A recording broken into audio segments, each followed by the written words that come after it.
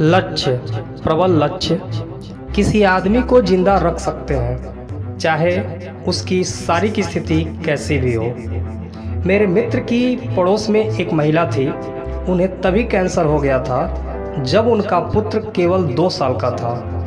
इतना ही नहीं, बीमारी का पता चलने से तीन महीने पहले ही उनके पति की मृत्यु हो गई थी। उनके डॉक्टरों ने उन्हें कोई दिलासा नहीं दिया। परंतु उस महिला ने हार नहीं मानी। उनका संकल्प था कि वे अपने दो साल के बच्चे को सफलतापूर्वक कॉलेज की पढ़ाई पूरी करवाएँगी। अपने पति द्वारा छोड़ी गई छोटी सी किराने की दुकान चलाकर उन्होंने पढ़ाई के लिए पैसे जुटाना शुरू किए। उनके बहुत से ऑपरेशन हुए।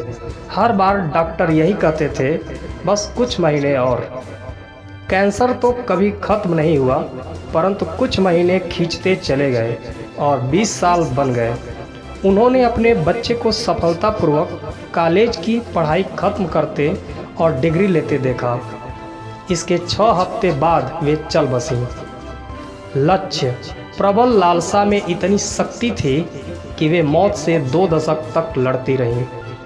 लंबे जीवन के लिए लक्ष्य का प्रयोग कीजिए। दुनिया की कोई भी दवा और आपका डॉक्टर भी यह मानेगा जीवन को बढ़ाने में इतनी सक्षम नहीं होती जितनी कि कुछ करने की इच्छा। लंबे जीवन के लिए लक्ष्यों का प्रयोग कीजिए। दुनिया की कोई भी दवा और आपका डॉक्टर भी यह मानेगा, जीवन को बढ़ाने में इतनी सक्षम नहीं होती जितनी कि कुछ करने की इच्छा होती है। किसी भी लक्ष्य को हासिल करने में कदम दर कदम चलने के तरीके की ज़रूरत होती है। कई बार ऐसा लगता है जैसे कोई अचानक सफल हो गया है।